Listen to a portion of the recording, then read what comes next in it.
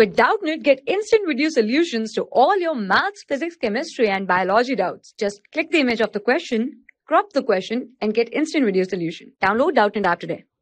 Hello everyone, let's start the question. The question says that cite the name of few vegetative propagules with one example each. So here we have to cite the name of few vegetative propagules with the example. So if we talk about vegetative reproduction, then it means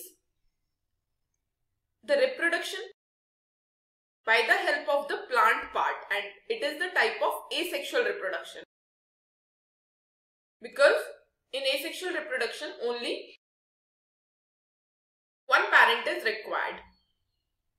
And if we talk about vegetative propagules, these are the plant part which help in the vegetative reproduction.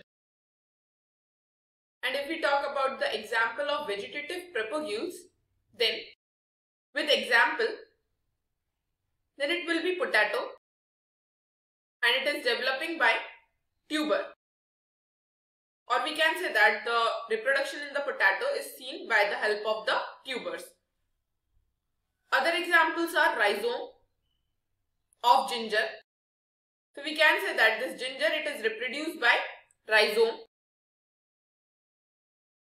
If we talk about bryophyllum, then the vegetative propagule is leaf bud as the bryophyllum is developed by the leaf bud and if we talk about agave then it is developed by bulbils.